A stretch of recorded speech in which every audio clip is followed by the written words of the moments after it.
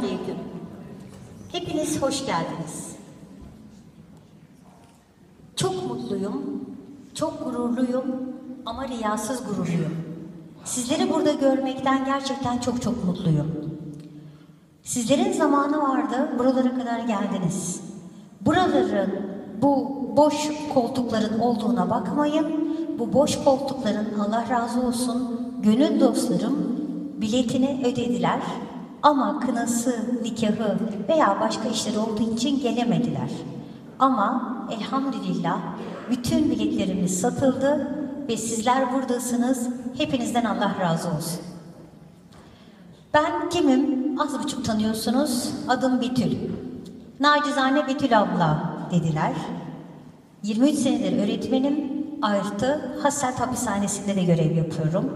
Hassat Hapishanesi'nde Ganalı bir mahkum kardeşim tarafından bu proje başladı. Bu proje hapishanede başlanmış bir projeydi.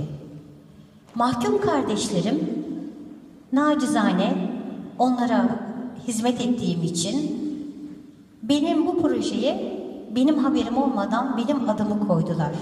Kızıma bir mektup yazıp dediler ki Betül abla senin bizde emeğin çok. Senin sayende biz bu projeye başladık.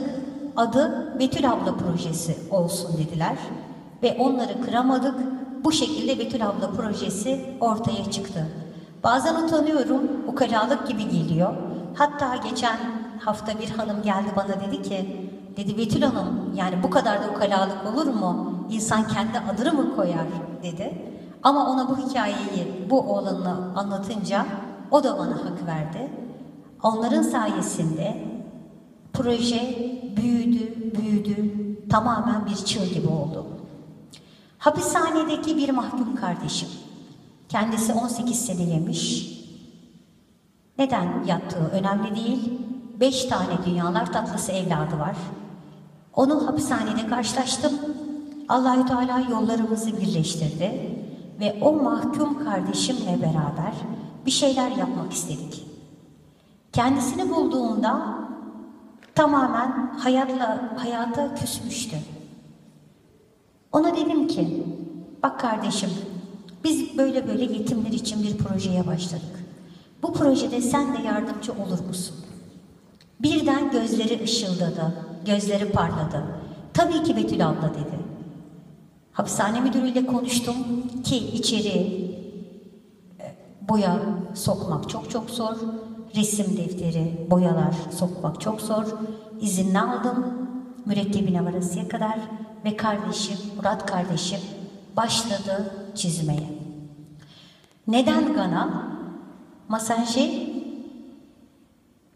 Ayağa kalkar mısın? Estás afkısop? La tezine. Masajı benim kız kardeşim, öbür kız kardeşim. Kendisi Ganalı, eşi Ganalı. Eşinin ve onun köyüne de benim yetimlerim. 18 tane yetimim onun köyünde. İlk su kuyum onun köyüne açıldı. Gana'ya gittiğimde onun sülalesiyle, ailesiyle tanıştım. Çok gurur verici bir şey. Rabbim nasip etti. Rabbim sizin gibi güzel gönül dostlarıyla yollarımızı kesiştirdi. Ve hele en güzeli Murat abimizin yaptığı. Gelin kısa da olsa Murat abimiz neler yapmış hapishanede parmaklıklar ardında ilk önce onu bir görelim. Adem. Hoe komt een gedetineerde uit de gevangenis van Hasselt terecht bij een project voor weeskinderen in Ghana? Dat is het speciale verhaal van vrijwilligster Betul en gevangene Murat. Samen hebben ze een project opgestart waarbij ze geld inzamelen voor weeskinderen in Ghana. En met succes, want ze hebben samen vanuit de cel al bijna 1000 euro ingezameld.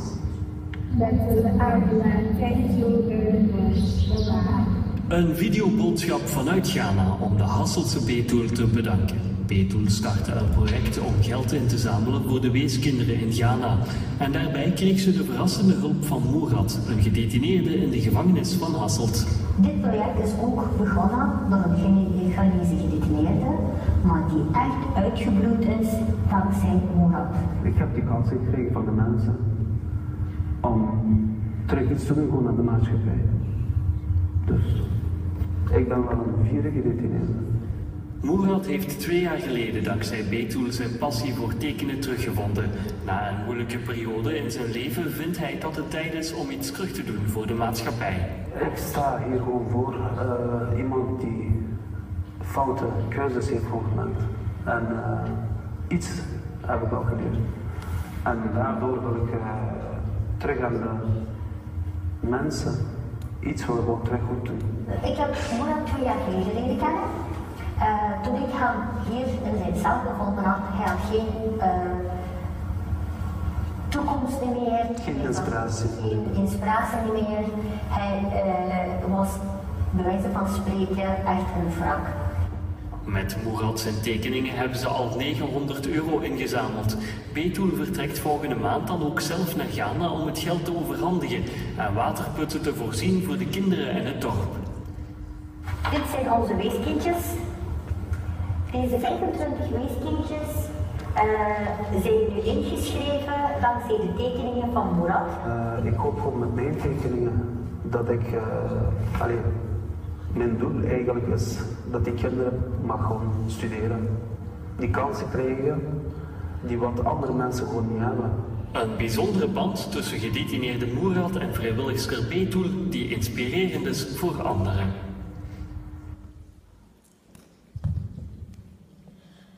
Evet Murat abim. Murat abim 18 sene yatacak ama inşallah daha erken çıkacak. Şu anda 8 senedir içeride. Murat abim çok çok güzel resimler yapıyor. Çok güzel hat sanatları yapıyor. Neden hapishane? Hapishaneye girmemin sebebi Murat abi ve Murat abi gibileri yüz üstüne çıkarmaktı. Onların hikayelerini dinleyip sizlere, öğrencilerime anlatmaktı. Murat abinin şu anda kız kardeşi ve evlatları burada aranızda. Onlar da geldiler ve babalarıyla hapishane ar- parmaklıklar ardında böyle güzel şeyler yaptığı için gurur duyuyorlar. Biraz sonra arzu ederseniz kapının sol tarafında Murat abinin yaptığı resimler var. Onların satın alabilirsiniz. Tamamen geliri aynen ilk baştaki gibi yetimlerimizin hayrına gidiyor. Ve gittim. Kelle koltukla gittim. Neden gittim? Çünkü görmem lazımdı. Tamam Müslümanlar ama ona bakarsanız ISIS de Müslüman, IŞİD de Müslüman, Hogo da Müslüman. Sizler eğer bana bir misyon verdiyseniz oradaki Müslümanların nasıl olduğunu görmek için gittim. Gerçekten samimi Müslümanlar diye mi gittim? Allah eşimden binlerce razı olsun. Ben, kızım ve manevi oğlum Hüsmen'le beraber kalktık gittik. Birebir gördük. Gözleri